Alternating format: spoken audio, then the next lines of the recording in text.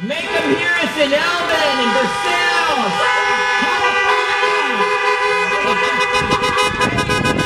Amen. We're here this morning. Isn't this wonderful to be able to see each other and just to be here in the parking lot and, and know that God is here with us? Man, it's an exciting time for me. I was so pumped up. I was just like, wow. I, I kept pacing the floor, and I'm glad I'm here this morning. And uh, uh, I'm glad that you guys are all online. Any of you joining us on Facebook this morning. God is going to do some good things in this service today. It's Easter Sunday morning. And this is what I want you to know. This morning I woke up and I rolled over in the bed and got my little grandson out of his little crib. I pulled him over close to me. He was crying a little bit, wanting something to drink. And I looked at him and I said, Axel Cruz, Jesus is alive. Jesus is alive. And I told him, I said, Axel, no matter what happens in this world, Jesus loves you. And he likes his papa to sing, Jesus loves me to him. And so sometimes that's what I do when he's sleepy. I just sing, Jesus loves me. This I know, for the Bible told me so. This morning I declare that Jesus loves us this morning. Amen? Yes.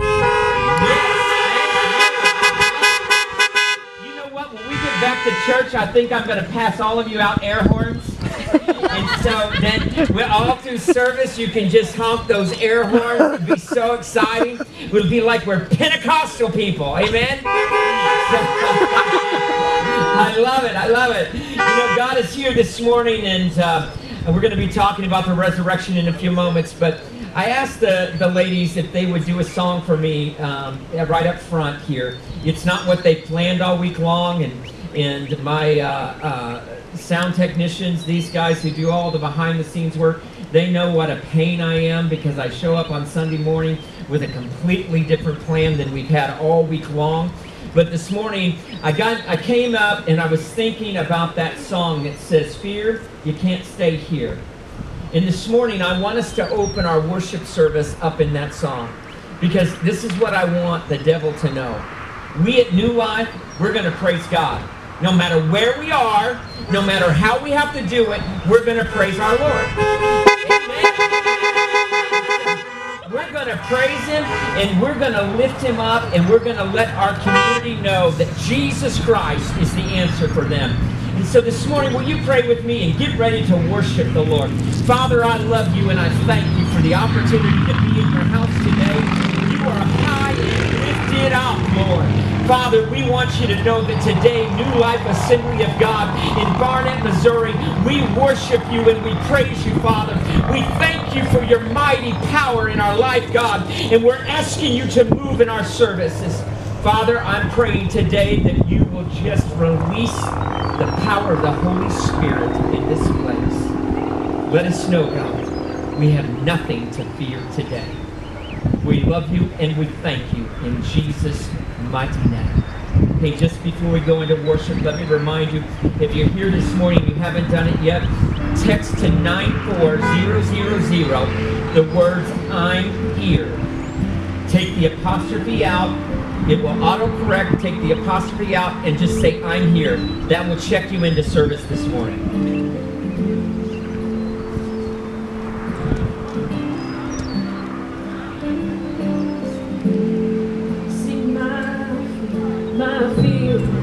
Doesn't stand a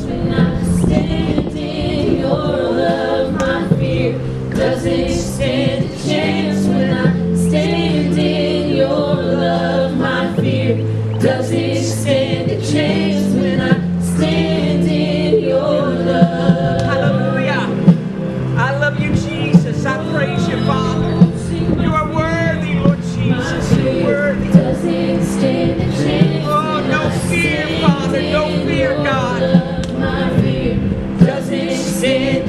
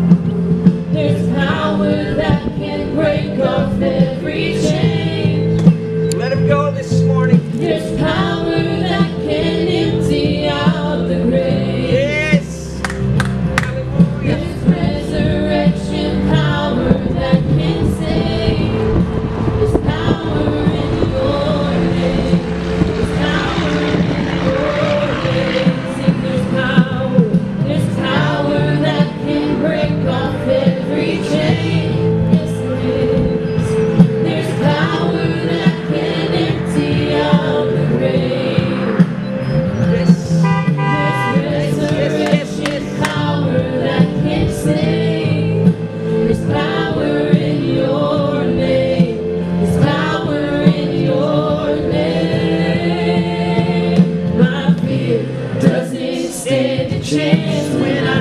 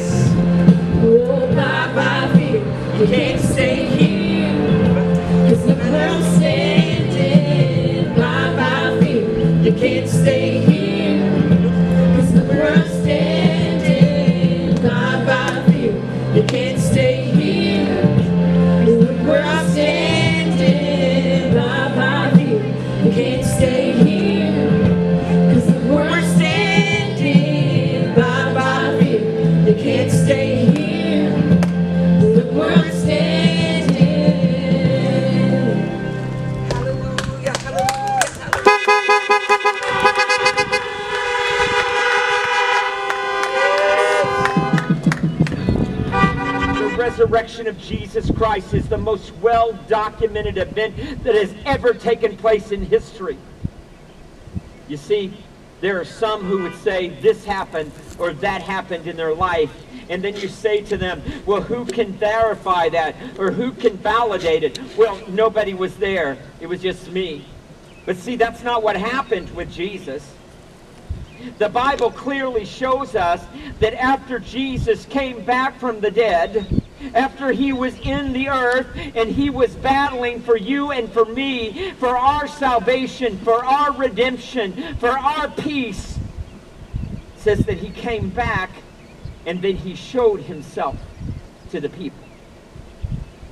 Here, when this is written, we're understanding that uh, uh, over in, in, in 1 Corinthians uh, 15 and 3 and 8, when we go and we read those scriptures, we see that for Paul the Apostle, for what I received, I pass on to you as first importance that Christ died for our sins according to the scriptures, that he was buried, that he was raised on the third day according to the scriptures, and that he appeared to Peter and then to the twelve. After that, he appeared to more than 500 people. You see, there's a reason why Jesus wanted to be seen. He wanted people to document that this was not just a story about some man who had done some good deeds, but indi- instead this was about a man who had done what none other could do. Jesus is our hope today. Jesus is our everything. Jesus told his disciples in Matthew 16 that, that he would be killed and on the third day he would be raised to life. See, that promise indicated to me that Jesus intends to keep this word when he said, I go away to prepare a place for you. A place for you and me. So it assures me that Jesus is coming back someday for you and I, and we will live and reign with him forever.